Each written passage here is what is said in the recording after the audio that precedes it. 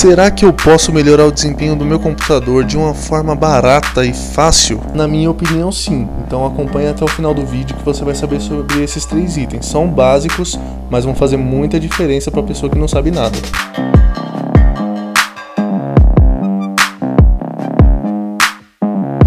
Primeiro item é o SSD. Ele tem a função de armazenar o Windows, que é o sistema operacional, e os seus dados pessoais também. Se você tem um computador velho, provavelmente você tem esse daqui, que é o HD. Você só precisa conferir se a entrada dele é essa daqui, SATA. E se depois de conferir você viu que tem a mesma entrada, a única coisa que vai separar você em um computador um pouco mais rápido são 130 reais, que é mais ou menos essa média que você vai achar preço em site chinês aí, Shopee, AliExpress. E ainda tem outra notícia boa, você não precisa se desfazer do HD você pode usar os dois em conjunto. Você só precisa instalar o Windows no SSD e armazenar outras coisas ali no HD.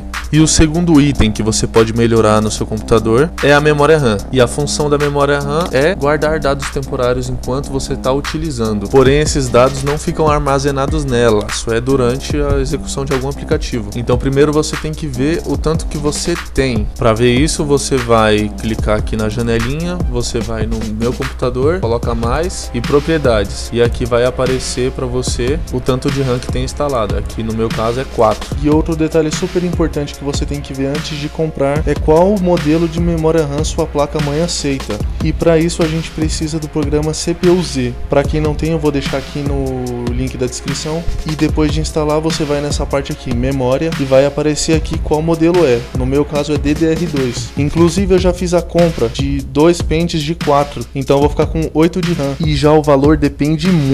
Se for DDR2, você vai achar muito barato. Se for DDR3, você já vai achar um pouco mais caro. Se for DDR4, meu filho, sei lá o que você faz. Mas esse vídeo é para pessoa mais humilde, pessoa que tem computador um pouco mais básico, DDR2, DDR3, um pouco antigo, né? Pessoas que também não têm tanto conhecimento em hardware. Por isso que é básico assim, entendeu? Não fica bravo comigo não, falando, ah, achei que você ia contar uma coisa nova, mas tem muita pessoa que não conhece, por isso que eu tô fazendo. Mas agora, como terceiro e último, e o item provavelmente mais caro, é o processador, que é o responsável por processar todas as informações. Ele é o que se comunica com tudo e é responsável por fazer o processamento de dados. Ele se comunica com todo o computador. E se você tem um computador velho aí, provavelmente o seu processador também deve ser velho. Então o nosso amigo CPU-Z entra aqui para ajudar novamente. Só que dessa vez, em vez de você ir em memória, você vai em CPU e tem aqui o socket. É super importante você saber qual é o seu socket, que é como se fosse o tamanho dali do encaixe que você que tem da placa mãe pro processador. E isso eu acho muito legal, porque eu mesmo eu tenho um 775 que é antigo pra cacete. E eu comprei um Core 2 Quad que é muito legal, que é exatamente esse modelo que tem aqui. Então para saber qual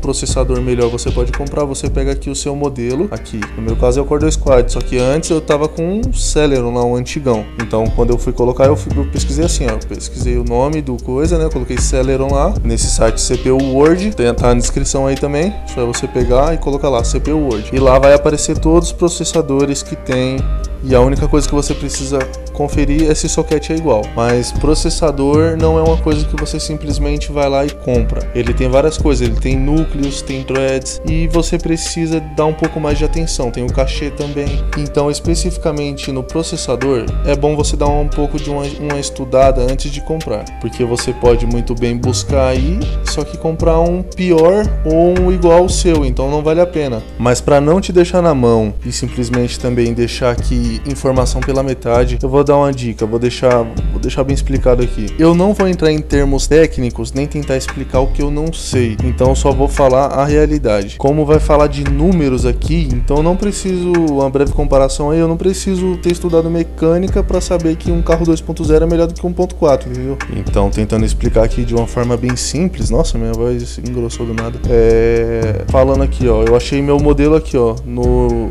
Olha aqui, eu achei meu modelo aqui no, nessa lista, que aqui essa lista tão, são todos so, sockets igual o meu, entendeu? Então eu achei aqui, ó, meu Core, Core 2 Quad 8400. Tem 4 MB de cachê, 2,66 GHz e 4 núcleos e 4 threads. Se você sobe aqui para cima, você vai ver que tem o que? O Celeron, tem Pentium, é, Core 2 Duo. Esses daqui são fraquinhos. Você pode ver, ó, dois núcleos, dois threads, 1 um, um barra 1, tá vendo? Então esses daqui são os mais fracos. Agora descendo lá para baixo que você vê os mais potentes. Esse Core 2 Extreme, ele tá fora de cogitação, tá tipo mil reais um dele, sem noção, né? Então foi por isso que eu optei por esse mais antigo aqui, ó, 8400 que tem quatro núcleos, quatro threads, tem uma os, os gigahertz aqui do processador até que é bom e tem quatro de cachê, que eu não sei praticamente o que é, mas igual eu falei no começo, né?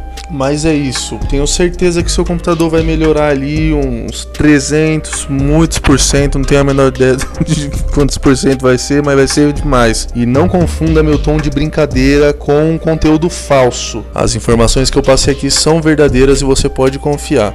Só faz tudo que eu falei certinho, procura saber mais antes de comprar, entendeu? Se você é uma pessoa totalmente leiga.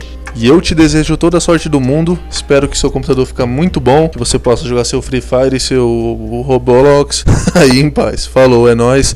Se inscreva no canal. Falou, desculpa pelo microfone estourado.